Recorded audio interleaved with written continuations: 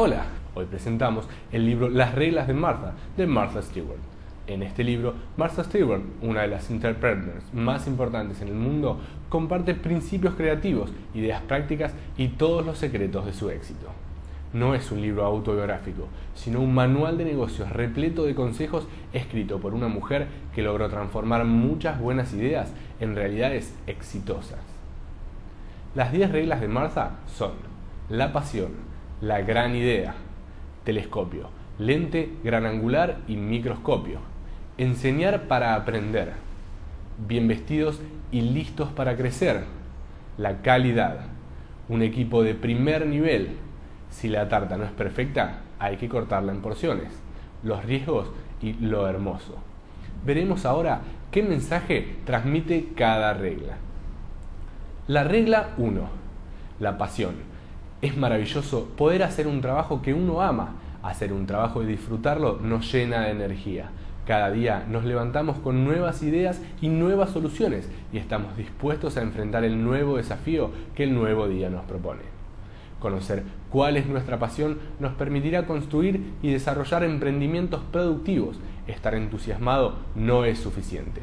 Las personas de negocios más exitistas tienen algo en común, tienen curiosidad, les gusta trabajar arduamente, están comprometidos a hacerlo mejor cada día, en síntesis, tienen una pasión. La regla 2, la gran idea. Para iniciar o expandir un negocio es necesario tener una gran idea, una idea importante, consistente y viable. La idea que sea lo suficientemente simple como para que podamos desarrollarla y expandirla y lo suficientemente simple como para que los consumidores puedan comprenderla. La regla 3, telescopio, lente, gran angular y microscopio. Uno necesita un telescopio para poder ver el futuro y elaborar un plan de negocios de largo plazo que permitirá saber a dónde uno quiere llegar y cómo hacer para llegar hasta allí. También necesita una lente gran angular para poder evaluar el paisaje amplio en el que el negocio habrá de operar los competidores, las tendencias sociales y económicas, las cuestiones relacionadas con los proveedores y con la producción. Y también necesita un microscopio, porque cada tanto uno deberá detenerse en los detalles y comprender profundamente la mecánica del negocio. La regla 4. Enseñar para aprender. No hay personas más importantes que los clientes y es necesario contactarse con ellos. ¿Cómo? Por ejemplo, a través de un servicio de Internet. Los clientes son los mejores asesores porque ellos saben qué es lo que quieren y necesitan. Cuando uno comparte el conocimiento que posee sobre su producto o servicio con los clientes, entonces puede crear una conexión profunda que le permitirá aprender cómo mejorar y gestionar su negocio. La regla 5. Bien vestidos y listos para crecer. Cuando uno ya ha investigado, ya ha formalizado su plan de negocios y está listo para el lanzamiento, entonces ha llegado la hora de difundir la idea ha llegado la hora de comunicar en qué consiste el nuevo producto o el nuevo servicio. Es necesario pensar en el packaging, posicionar el producto o servicio por medio de una gran imagen apropiada, atraer a los consumidores por medio de la creatividad y del sentido común, ofrecer demostraciones por televisión o diseñar avisos y publicarlos en Internet. La regla 6. La calidad.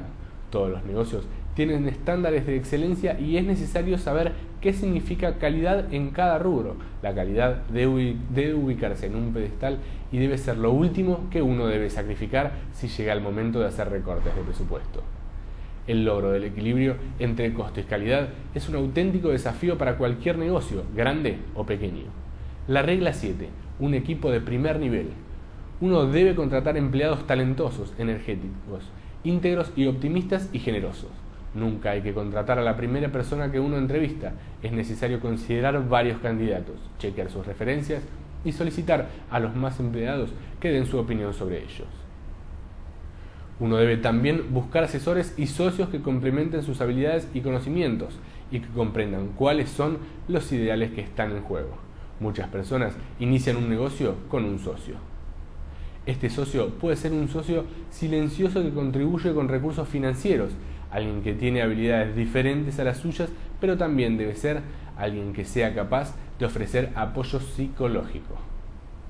La regla 8. Si la tarta no es perfecta, cuando las cosas no se ven muy bien, en ocasiones es necesario decidir qué retener y qué descartar. Por ejemplo, si una tarta no es perfecta, entonces es necesario descartar las porciones dañadas, cortarla en porciones, elegir las piezas perfectas, ponerlas en una buena bandeja y servirlas. Cuando uno se enfrenta con desafíos, es necesario tener las buenas cosas a la vista y abandonar las malas, clasificar las ideas y continuar. La regla 9. Los riesgos.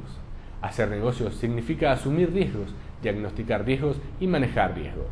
El riesgo más importante es el financiero. Es importante recordar que no existen en la vida oportunidades únicas. Las personas del mundo de los negocios sin experiencia creen que si dejan pasar una oportunidad, entonces se arrepentirán el resto de sus vidas, pero raramente esto es verdad. La regla 10, lo hermoso.